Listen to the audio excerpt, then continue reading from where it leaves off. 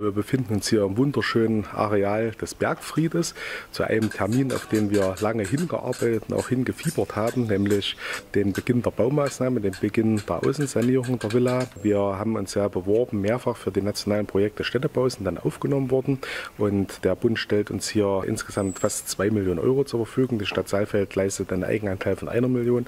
Damit wollen wir die Fenster sanieren, den Putz neu gestalten, wollen das Gebäude trockenlegen und insbesondere im Schmuckhof die Platten neu verlegen. Wir beginnen im Juli 23 und hoffen, dass wir vor Ende des zweiten Halbjahres 25 dann die Villa wieder ja, in Betrieb nehmen können. Die nationalen Projekte Städtebau sind ein Förderprogramm für eine Nutzung und deswegen ist das Nutzungskonzept integraler Bestandteil, da mal aufzuschreiben, was mit dieser Villa passieren soll. Ja, die Stadt Saalfeld hat ja irgendwann vom Freistaat Thüringen dieses wunderschöne Areal erwerben können und der Stadtrat war sich nach auch längerer Diskussion darüber im Klaren, dass wir die Villa und auch den Park für die Öffentlichkeit erhalten wollen. Es wird ja hier sehr, sehr gut angenommen. Es finden hier jedes Wochenende Veranstaltungen, Feierlichkeiten und sonstiges statt und das oberste Ziel ist es, diese Nutzung weiter zu ermöglichen. Das heißt also, wir wollen den Saalfeldern und Saalfeldern dieses wunderschöne Areal weiter zur Verfügung stellen, auch mit den Zwecken, die es bisher schon hatte. Darüber hinaus wollen wir die Nutzung dann auch intensivieren. Das heißt, es sollen noch mehr Veranstaltungen stattfinden.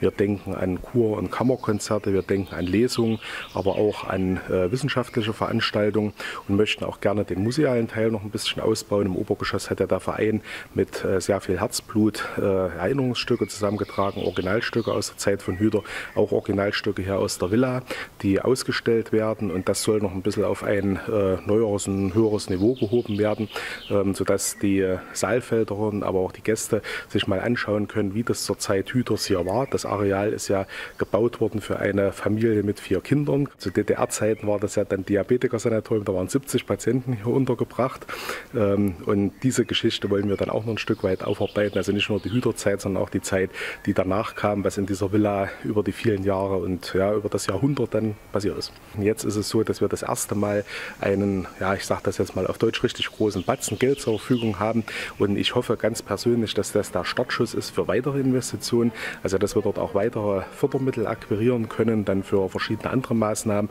Beispielsweise im Keller ist sehr, sehr viel zu tun, um das auch nochmal in den Urzustand zurückzuversetzen und das ist ja meistens so, wenn es einmal losgegangen ist, dann gibt es doch die Möglichkeit, dass man aus der einen oder anderen Schatulle noch ein bisschen Geld bekommt Und das ist unsere Hoffnung.